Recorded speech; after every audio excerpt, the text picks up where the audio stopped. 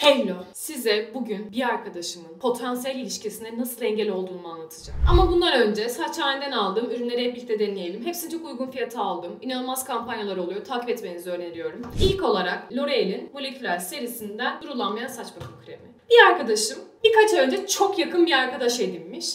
Ben yakın arkadaşlarımı paylaşmayı pek sevmem. Normal biri olarak. Kız da böyle biraz antipatik bir tip. Arkadaşım ne dese onu tersliyor. Böyle sanki her şeyi o biliyor.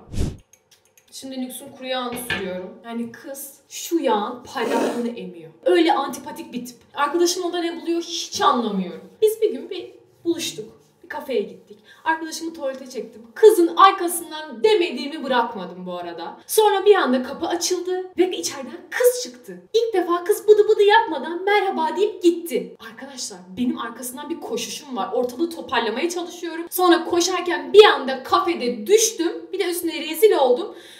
Ne yapacağımı şaşırdım. Şu 10-10 Ave'nin nemlendirici güneş kremi bile yüzümdeki kızarıklığı almayabilir. Sonradan öğrendim ki kız arkadaşımın hoşlandığı çocuğun kardeşiymiş. O yüzden aralarını iyi tutmaya çalışıyorlarmış. Neyse şimdi aralarını iyi tutmaya gerek kalmadı. Çünkü ikisi de hayatımızdan çıktı. Yani bu durumu çözse çözse Tangle Teaser çözerdi. Ona da gerek kalmadı.